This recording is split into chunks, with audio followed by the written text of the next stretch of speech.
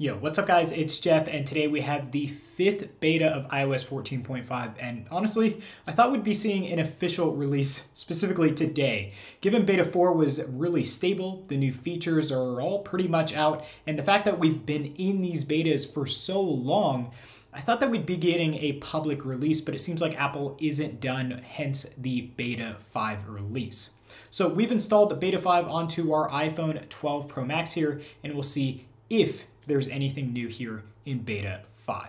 So picking a cell phone carrier and or a plan that works specifically for you is very just complicated these days. There are so many different plans and carriers to choose from out there and overall this experience tends to be a very stressful one for people who worry about if they're getting the best deal or not. Now, Visible, a company owned by Verizon, is a cell phone service that offers plans that start at just $25 per month that deliver unlimited talk and text and also unlimited data with access to Verizon's 5G nationwide or ultra-wide networks.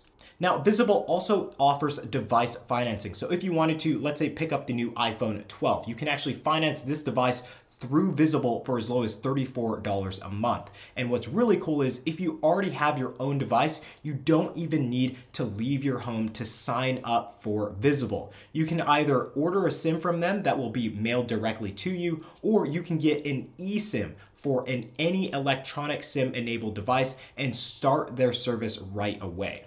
All of the information on how to do that specifically will be in the link down below. So guys, go check out Visible by Verizon. It's absolutely an awesome service with unlimited talk, text, and data. And what's super important to me is that their speeds for data are actually very comparable to what we see in other major carriers where you are spending way more money on data than you need to.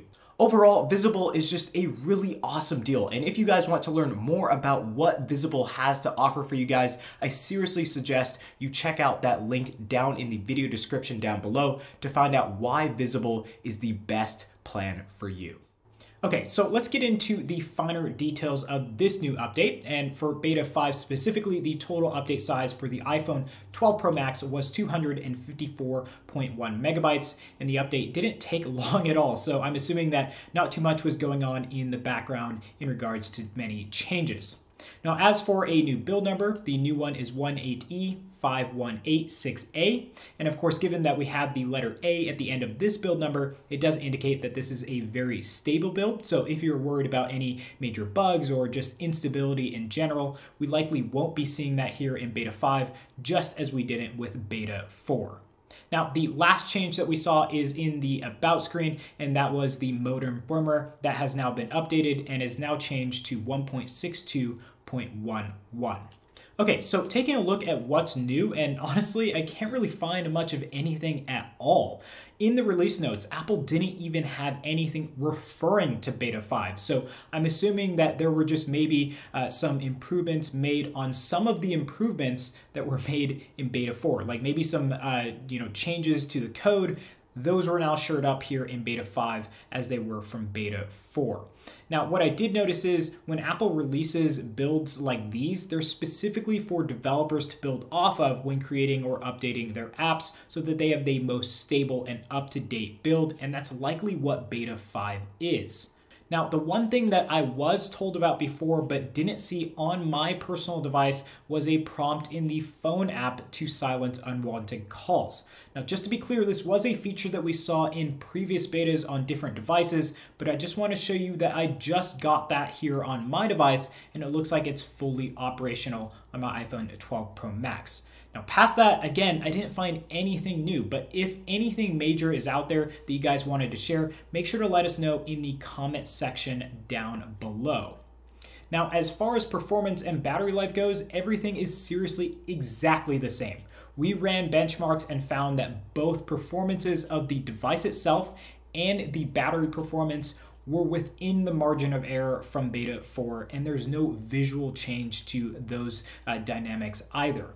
I guess that's just more evidence that this build was meant to be more of a better build kit to work off of for developers specifically, and nothing really more since there's not much of anything new going on when it comes to new features, changes, system performance, or even battery life. So with that said, if you were on beta 4, I'd maybe say don't even bother updating because uh, there's nothing really going on here in beta 5. But if you were on a less stable build, maybe like beta 3 or beta 2 of the iOS 14.5 betas, then maybe consider updating because this is going to be by far the most stable of them all.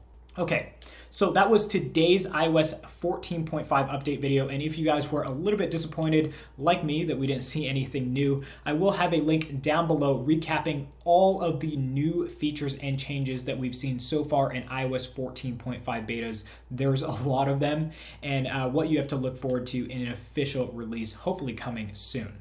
Now, as far as that official release date, I thought it was going to be today but we'll have to wait and see. Uh, given we have the last build uh, for the betas here, I'm assuming so, uh, given we have had two very uh, kind of like not really exciting beta builds here, just focusing more on bugs. We should be seeing either something coming out uh, later this week on Friday or maybe something coming out next Monday. Of course, we'll keep you updated when any official release is made for iOS 14.5.